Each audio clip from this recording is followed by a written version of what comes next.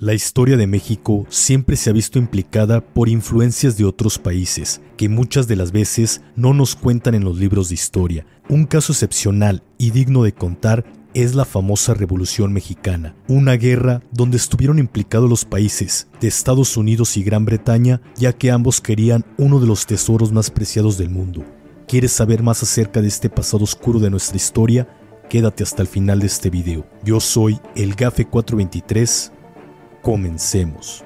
Para empezar, tenemos que regresar el tiempo atrás, más precisamente en el año de 1876, cuando daba inicio a una era conocida como el Porfiriato, donde bajo el mandato del entonces presidente Porfirio Díaz, México tuvo un incremento económico favorable y estable, construyendo más de 19.000 kilómetros de vías férreas, inversiones mineras, industriales, así como agricultura. Aún así, con todo esto, no se hizo sentir en las clases más bajas y desprotegidas del país, lo cual generó el descontento en estas clases, dando así el comienzo de la Revolución Mexicana en 1910 lo que inició como un levantamiento por parte de movimientos liberales, anarquistas, agrarios y populistas encabezados por Francisco y Madero pero con el paso del tiempo el levantamiento se transformó en una guerra civil. Pero lo que no nos cuentan en los libros de historia es que la Revolución Mexicana fue un plan de Estados Unidos así como de otros países de Europa.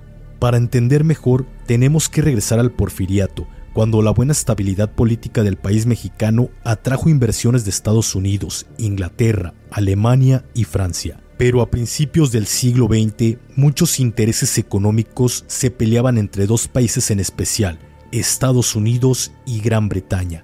Pero ¿qué era lo que buscaban estos países en México?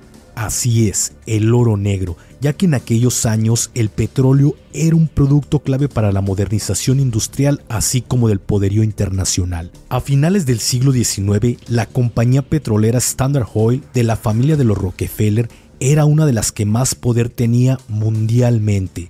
Royal Shell Group, de rama holandesa y británica, era la principal competidora de Standard Oil. Estas dos grandes compañías tenían sus afiliadas y subsidiarias en el país mexicano. Las dos grandes compañías petroleras competían por dominar en el país de México antes de la Revolución Mexicana, el presidente Porfirio Díaz había buscado el apoyo económico inglés para así buscar la autonomía y el avance en México.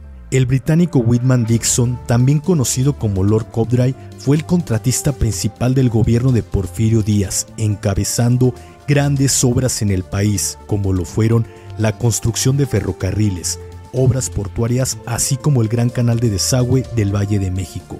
Pero también este hombre se convirtió en un gran accionista en compañías energéticas en México. A partir del respaldo de estas obras públicas y con lo ganado, Lord Cowdray pudo empezar a invertir en el negocio del siglo, el petróleo, creando así la Compañía Mexicana de Petróleos El Águila, esto a finales de la década de 1910. En Inglaterra, a Lord Cowdray se le recuerda como el proveedor principal de combustibles a la Marina Real Británica. Cuando por decisión del gobierno la flota inglesa dejó de depender del carbón como una fuente de combustible y por lo tanto iban a requerir de grandes cantidades de petróleo, el gobierno británico puso los ojos en el país azteca, ya que México era una reserva muy importante de petróleo para la Gran Bretaña y con eso el apoyo total por parte del gobierno británico al gobierno porfirista. Esto último al país vecino de los Estados Unidos no le pareció en absoluto y buscaron deshacerse del presidente Porfirio Díaz. Washington envió un mensaje al presidente Díaz diciéndole que ya era hora de que terminara con el mandato en México. El 15 de octubre de 1909, el presidente Porfirio Díaz sostuvo una reunión con su homólogo de los Estados Unidos, William H. Taft, primero en El Paso, Texas y luego en Ciudad Juárez. En esa reunión, el presidente Taft le dio un mensaje contundente al presidente Porfirio Díaz.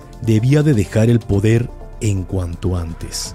Fue en ese momento que Francisco y Madero recibió el financiamiento así como armamento de parte de los Estados Unidos por medio de un agente encubierto de los Yankees, de nombre Sherburne Gillette Hopkins. Este hombre cumplió con la orden de los Estados Unidos, la cual consistía en desestabilizar a México a través del espionaje e infiltración clandestina, pero Hopkins y el propio gobierno de los Estados Unidos cumplían las órdenes ocultas de la compañía petrolera Standard Oil, esta propiedad de la familia Rockefeller y otras empresas. Hopkins trabajaba como cabildero para estas empresas de petróleo. La historia nos dice que a Francisco y Madero le pareció injusto el régimen porfirista y por eso encabezó la Revolución Mexicana, pero no contaba ni con el entrenamiento militar ni político, así que obtuvo ayuda de los Estados Unidos para lograrlo, al igual que de un ejército armado por parte de Hopkins que se aprovechó de la situación de las guerrillas y él mismo adiestró para la coordinación y logística de una revolución a nivel nacional. Mientras tanto, en la capital estadounidense, el padre de Madero negociaba con la compañía Standard Oil,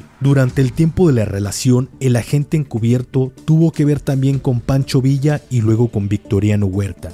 Antes de la batalla de Celaya, se acordó la venta de armas y balas de salva. Hopkins le vendió cartuchos cebados a Pancho Villa para que perdieran la guerra, ya que así estaba planeado por parte de los Estados Unidos. El agente encubierto también trabajó con Venustiano Carranza. A este último le organizaron toda la milicia. El 25 de mayo de 1911, después de más de 30 años de estar en el poder, Porfirio Díaz renunció de manera muy sospechosa de su cargo como presidente pues esto ocurre después de que en Ciudad Juárez cayera a manos de Pancho Villa. La empresa de la familia Rockefeller venció a Porfirio Díaz y así puso a Madero en la presidencia de México. En esta guerra, los Estados Unidos usaron toda la tecnología de aquellos años, como lo fue la aviación, en contra de los revolucionarios Pancho Villa, Emiliano Zapata y Flores Magón. Pero al llegar Francisco y Madero a la presidencia de México, ignoró a la gente Hopkins, así como los acuerdos con los Estados Unidos, poniendo impuestos a las concesiones petroleras extranjeras, y esto por supuesto no le agradó para nada a la compañía de Standard Oil. Los gobiernos extranjeros tuvieron miedo de que esas inversiones dentro de México desaparecieran, por lo que presionaron al nuevo presidente Francisco y Madero hasta perder la confianza en él. También generó la molestia de Gran Bretaña usando al embajador Henry Lyne Wilson para quitar a Madero del camino el presidente de los Estados Unidos, William Taft, y su embajador en México promovieron el golpe de Estado en contra de Madero y provocaron la muerte del mismo el 22 de febrero de 1913. Madero fue asesinado días antes del cambio de poder de los Estados Unidos, poniendo después al enemigo de Madero, Victoriano Huerta, como el nuevo presidente de México pero Lord Cobdry intervino para dar el reconocimiento y apoyo por parte del gobierno británico a Huerta y por consiguiente de los demás países de Europa. Poco después Victoriano Huerta les empezó a poner condiciones tanto a los ingleses como a los Estados Unidos, y esto sus corporaciones petroleras no les pareció y nuevamente volvieron a orquestar el derrocamiento de un presidente. Conforme la revolución en México se recrudecía, estos gobiernos se vieron con el problema de tener que negociar con los diferentes líderes guerrilleros triunfantes, en lo que la guerra terminaba y se reconstruía el país. Los distintos gobiernos extranjeros apoyaban a un líder o a otro, esto para tener sus intereses seguros en la última etapa de la revolución. Estados Unidos apostó por Carranza. Todos los jefes revolucionarios no reconocían a Venustiano Carranza, lo desconocían como jefe provisional por los supuestos apoyos a favor de los Estados Unidos. Al negarse Carranza a abandonar el poder, surgió la Tercera Revolución, donde Estados Unidos intervino a favor de Carranza y Álvaro Obregón. El apoyo de los Estados Unidos llevó a estos dos últimos a la victoria, pero esto a cambio del petróleo de México que pasó a ser de los norteamericanos, esto dio como resultado que todos los pozos que estaban en poder de otras naciones pasaran a ser de los Estados Unidos, mediante el Tratado de Bucareli firmado por Álvaro Obregón con Estados Unidos en 1923, vendiendo de esta forma a nuestro país, dando origen a muchos males económicos y políticos que hasta el día de hoy nos siguen azotando. Y todo esto solo por ser reconocido por los Estados Unidos. Si este video te gustó, te invito a que le dejes tu poderoso like para así poder vencer a este algoritmo. Suscríbete si no lo has hecho y comparte este video para que a más gente les llegue este contenido. Yo soy el Gafe423. Hasta la próxima.